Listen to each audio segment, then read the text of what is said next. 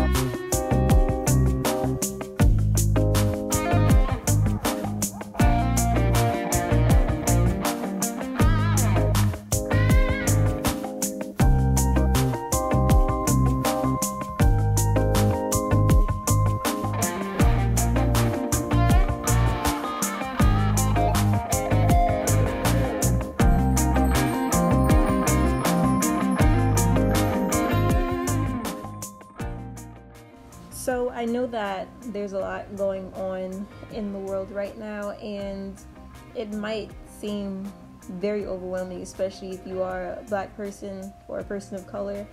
It can be very scary seeing things on social media, and I just want you guys to know that this is a safe place. I am here with you. I am a supporter of you. I'm a part of your community, and we're going to get through this together.